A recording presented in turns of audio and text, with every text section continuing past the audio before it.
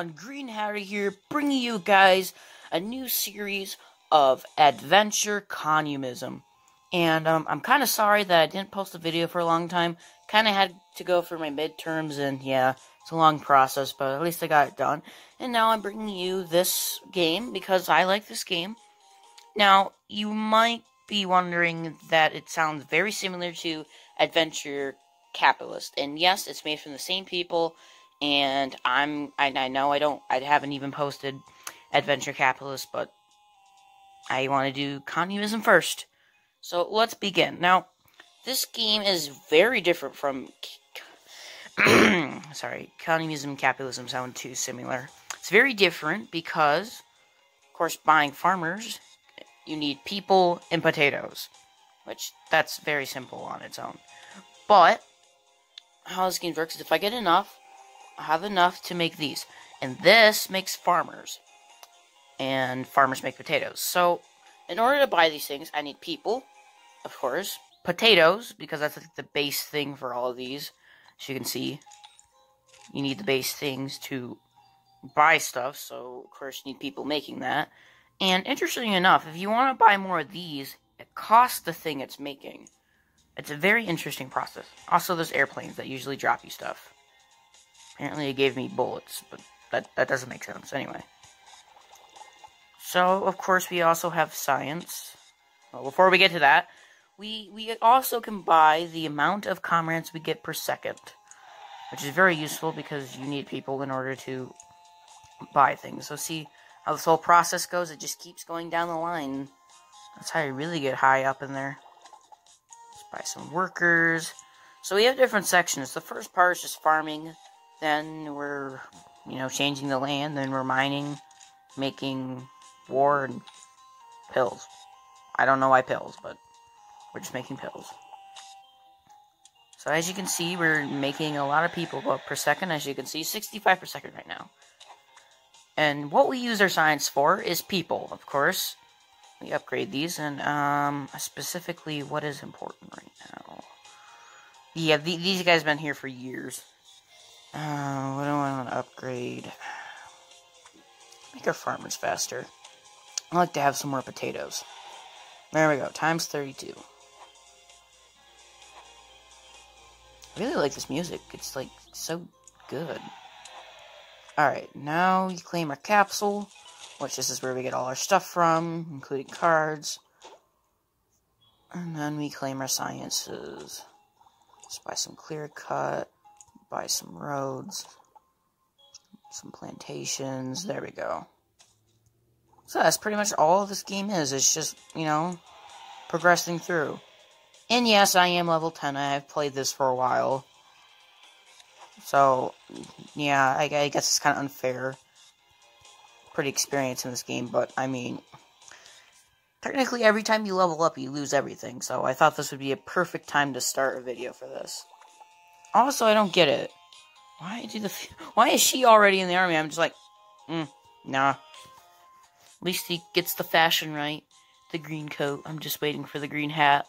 A tip I'd like to give out is that usually you don't want to buy farmers because the communities right now is making more farmers per second than I can buy right there.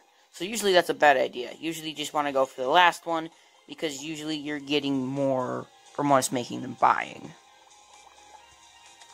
here. We can buy some more roads. Uh, we don't have a mine yet. Get some more science. Ooh, upgrade this. Okay, a lot more comrades. And I'll claim this here. What is it? Airdrops. 50 science, 20 points. Almost to the next higher reward. Okay. Okay then. So anyway, that's pretty much how this game works. And so we're going to progress through and see if I can get any farther than I did last time. So I got the coal plants. Then I really want to get trains, because that's pretty cool. Buy more plantations. What do I need for irrigation? Oh, I just need potatoes. So at that point, I'm just going to keep upgrading this. Going to make a lot of these, and a lot of these, and a lot of these, and we should get enough potatoes.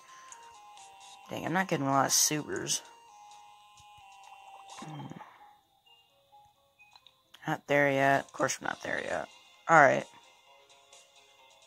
So, I'm really waiting for this because different events happen. And look at the stuff we can earn. Like, well, you have to go up by rank, but look at the rank 20. I can get that supreme chest, man. That that's great. I just can't do that yet. No, I don't want to watch an ad. Sometimes they'll do it for you for free. Oh, looks like we can do our mine now. Perfect. So we'll let them do that. Oh, need more plantations. And boom, claim reward. We get our stuff. And that's it's pretty much all you do, and it's guess it gets repetitive over time, but to me not really. It's more like uh hmm, how would I say it? I'm not sure, but it, it's just really fun because I'm just making an industry. Buy some more sewers. I don't have enough sewers yet.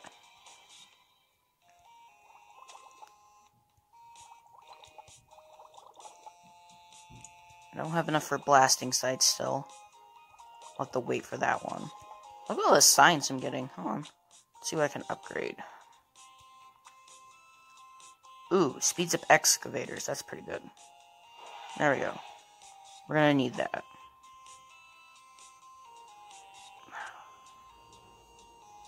I really need a lot more upgrades.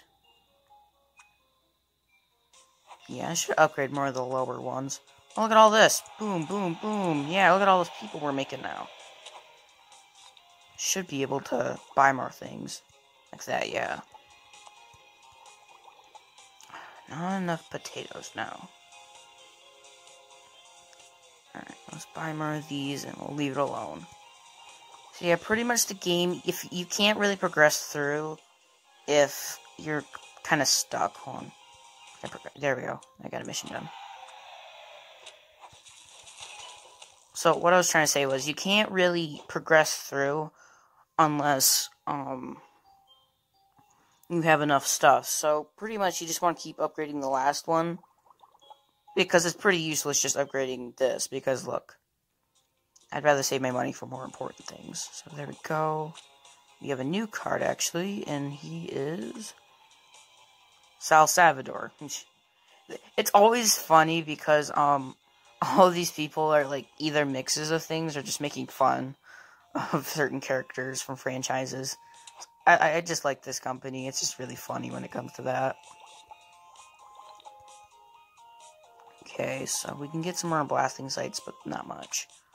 Let's claim our reward, and we get a new tire upgrade. Ooh. Our tire reward is we get this. There we go, look at all that. Good. Now we can upgrade.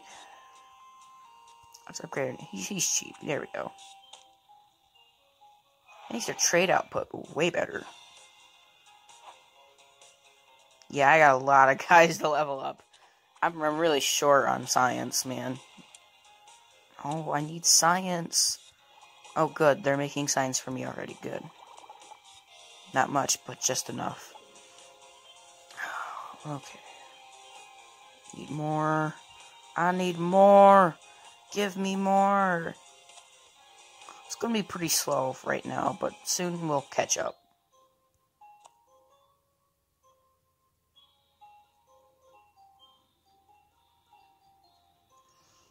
Alright, we're heading up in numbers.